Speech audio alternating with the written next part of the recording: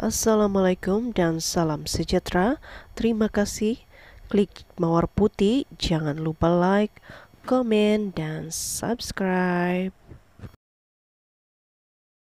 Farid Kamil hadir di Mahkamah Rendah Syariah Petaling Jaya, Subang Bistari Syah Alam pada pagi Selasa membawa sejambak bunga ros merah dengan harapan dapat menjernihkan kembali hubungannya dengan istri Diana Danela.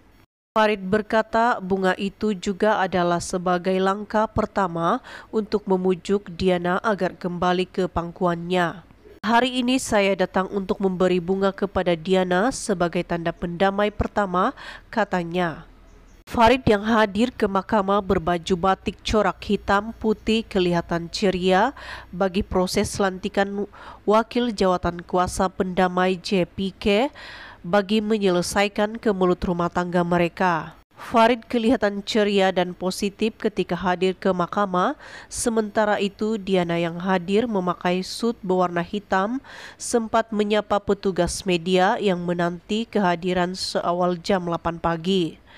Selamat pagi, selamat Ramadan semua, katanya. Pada 20 Mac lalu dunia dihiburkan tempat dikejutkan dengan berita Farid dan Diana hadir ke mahkamah bagi sebutan kes penceraian yang difailkan oleh istrinya itu pada awal Mac.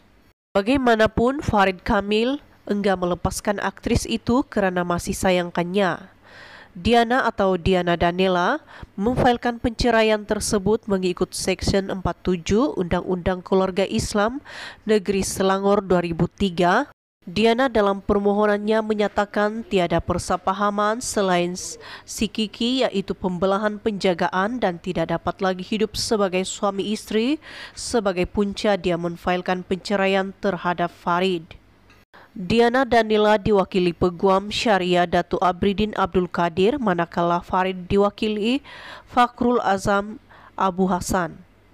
Untuk rekod pasangan itu mendirikan rumah tangga pada 3 November 2012 dan hasil perkawinan itu dikaruniakan dua cahaya mata yaitu Muhammad dan Nur Arora 8.